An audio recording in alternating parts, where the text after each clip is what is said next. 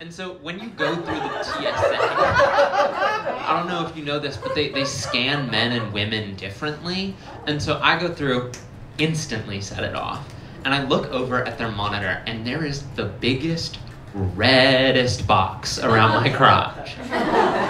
And listen, I'm not normally one to brag about my dick size, but I'm definitely larger than your average woman. So I, I, I recently learned at my job that I was getting paid half as much as my male coworker for the exact same oh, job. Proving once and for all that trans women really are the women of women. like, I'm out here making 82 cents on the cis woman's dollar.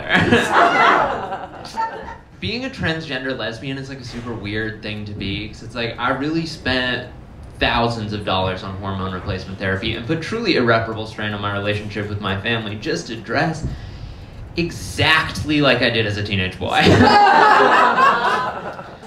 when I was in Florida, I had to pass a lot for my safety, and that's when I realized that like passing tips are very different for trans women versus trans men, right? Because for trans women, it's all like You're gonna have to speak not only at the correct pitch, but also with the correct resonance and tone. You're gonna have to shave your whole body at minimum once a week, and baby girl, you gotta learn how to contour.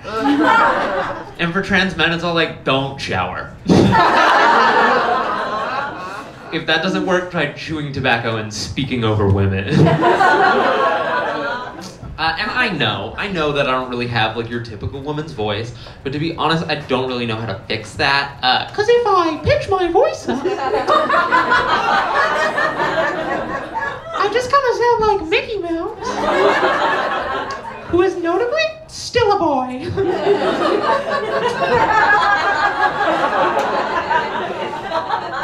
Uh-huh. Uh,